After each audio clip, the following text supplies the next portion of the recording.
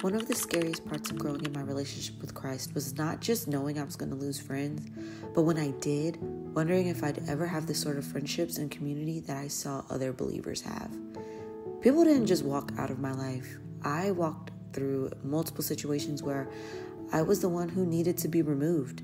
See, a lot of us won't be honest about it, but we aren't always the good guys in the stories we like to play back in our heads. I wanted to share a quick story about a time when this actually played out in my real life. My husband and I were really close with another couple. We did dinners, play dates, vacations, all the things together. While we were all believers, we also had some things in each of us that still needed some healing. The intimate nature of our relationship created this opportunity for like really, really deep connection, but it also revealed a lot that shocked me. I actually began to see wounds in my heart that had been long covered up. I began to get triggered and was finally in a place where the Lord knew I could handle the refining fire of spiritual growth that can only come through experience. Inevitably, the Holy Spirit led me to sever the relationship abruptly. And my husband was in agreement, and we walked away from two people we really loved.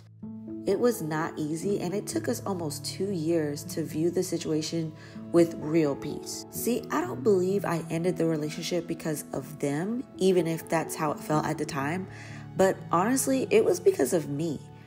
I had done what I did many times in my past, which was to put too much reliance on people in the place of God. God had been calling me to a deeper place with Him and to a deeper place with my husband that I, at the time, just flat out did not want to do. So I relied on this friendship to be my place of safety, of comfort, and of peace when that should have never been what I did with that relationship. Sometimes too much of a good thing can be detrimental.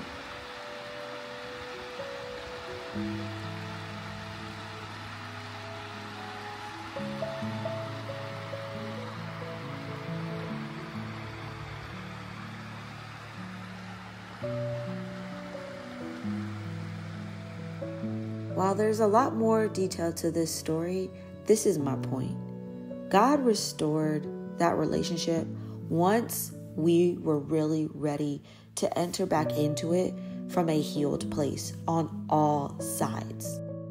God ended up restoring that situation and that friendship at the appropriate time. And while we aren't as close as we were at that time, all four of us have grown so much from that break. And it really showed all of us those things within us that we needed to work on as individuals and as collective, like in each of our marriages. And the lessons learned and revelations revealed during and after that time has really produced so much fruit in our lives today. While it was hard to go through, as the scripture says, He will give a crown of beauty for ashes, a joyous blessing instead of mourning, festive praise instead of despair. In their righteousness, they will be like great oaks that the Lord has planted for His own glory. Now we have so many beautiful relationships with different families, different friends. And I can honestly say that those people from my past that I may have lost, I have come to a place where I forgive, I pray, and I love them from afar because at the end of the day, I don't want to hold anything in my heart that is unlike the Father who is pure and good and holy.